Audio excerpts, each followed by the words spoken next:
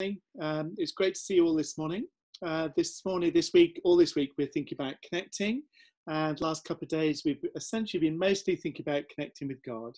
And today, we're thinking uh, a bit more about connecting with one another. That we are a community as God's people. We are a community of faith where we're connected into one another. The image of the vine and the branches that Fran talked about yesterday had some of that in it, it too.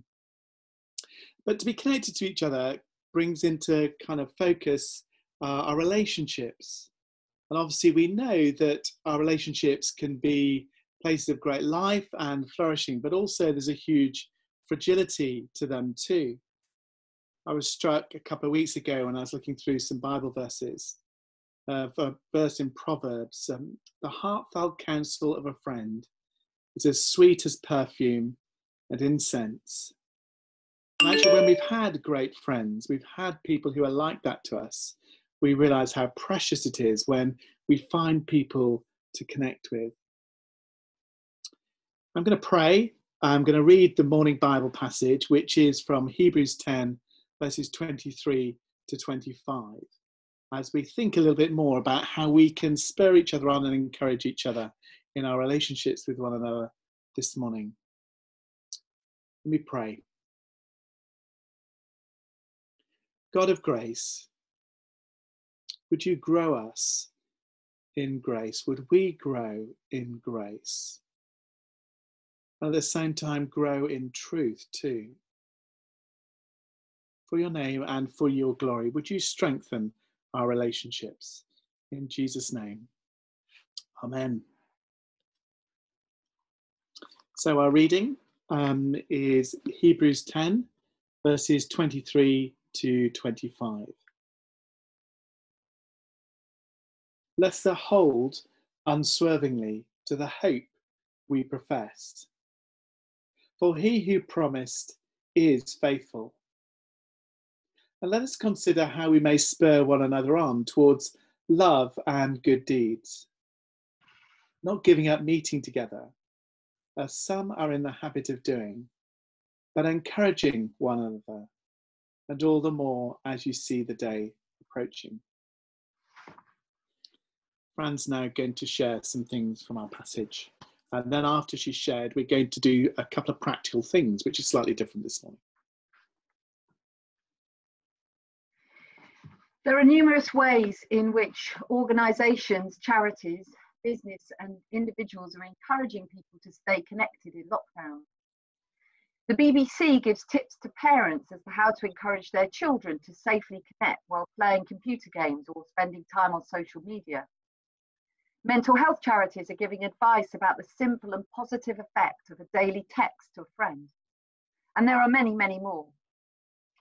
The writer of Hebrews in this passage is writing to Christians facing persecution to encourage them to persevere in their faith and to give them some great tips on staying connected and standing together as disciples of Christ, whatever they face. These verses give us four lettuces that can encourage us in these days of lockdown when we can't physically be together and yet want to stay connected as God's people and God's church at St. Swithin's. Firstly, let's hold on to hope. Many have felt pretty hopeless during these last few weeks. They can't go out, they don't know what's going on, and they're feeling alone and wondering what the future will look like. But Christians have an eternal hope to hold on to. We have permanent access to God through the death and resurrection of Jesus Christ. We are not alone, and He is with us, and He is always faithful. We're not hopeless because one day all pain, struggle, and despair will end, and we will be with Him for eternity and we can encourage each other with that hope. Secondly, let us spur one another, another on towards love and good deeds. Just because we're at home doesn't mean we can't encourage each other, spur one another on to act out of love towards others.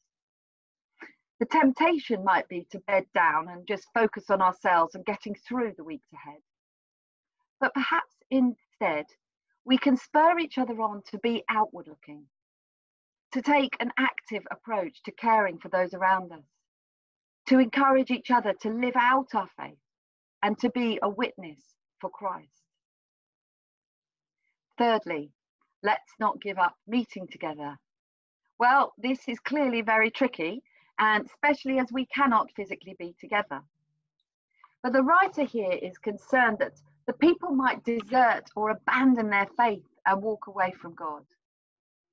We need to be careful during this time that because we don't have the discipline of a Sunday morning, that we don't drift away from our relationship with God and with each other.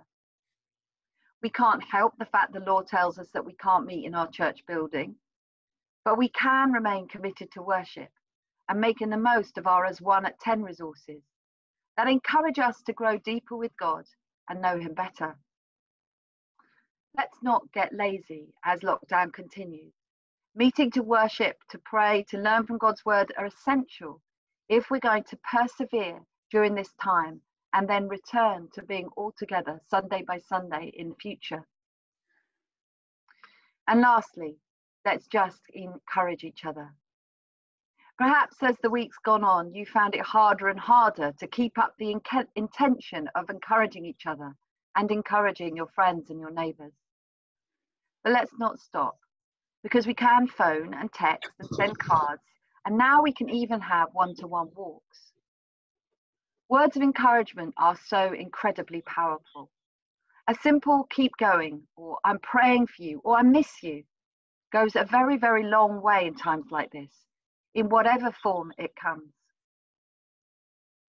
When we commit to these four things, these four lettuces, we are bringing God glory and honor. We're demonstrating our love for Him, and we're demonstrating our love and our commitment to one another. So, St. Swithin's Church, let's not stop. Let's keep going. Amen. Okay, well, um, one of the uh, things we're going to do, would you just take a moment to be quiet. And I don't know what kind of screen you've got in front of you, but I'm going to suggest we do two practical things this morning. One of which we're going to uh, have maybe a minute and a half, two minutes quiet.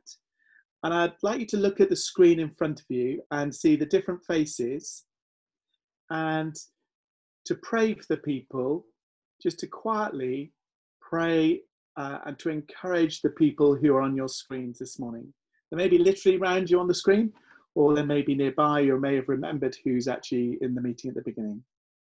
But just to take a minute and a half of silence, and in that silence to pray God's blessing and encouragement on the people on the screen. So let's pray.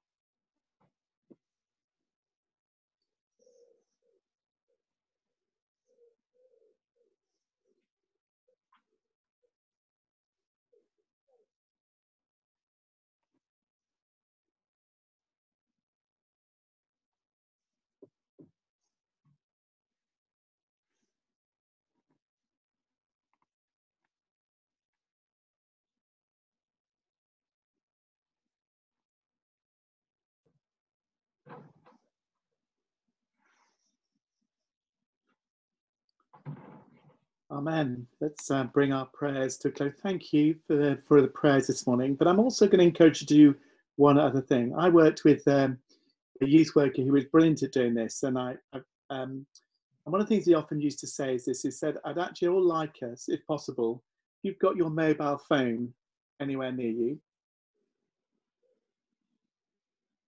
Don't, don't worry. But I'd like you to think about think of three Christians this morning." That you could encourage by sending a text to. Now, if you haven't got a phone with you, you can maybe send something. And then, literally, as you're sat here this morning, if you've got your phone with you this morning, just do one of them this morning. Uh, but then commit to encourage three specific people by sending. You may just want to say, I'm praying for you. You may want to send a scripture. You may just say, keep going. You know, you may want to be more personal than that. And actually just send a word of encouragement literally as we said. So I'm going to take one minute and then we'll finish. So if you want to write a text, pick somebody this morning.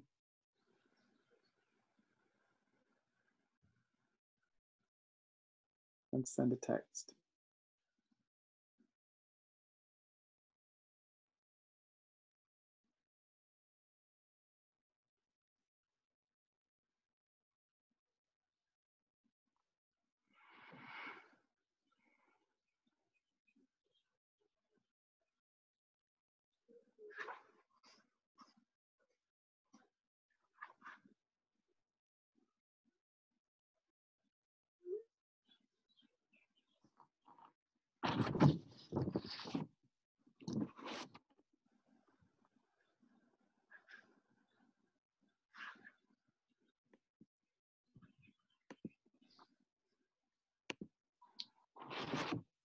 Great. I hope you're going on texting. Okay, I won't um, keep you longer than we said, but hopefully you'll be able to send one. But can I encourage you, if you do have a phone, to find the other two people and take time to just send a simple word of encouragement to somebody uh, today.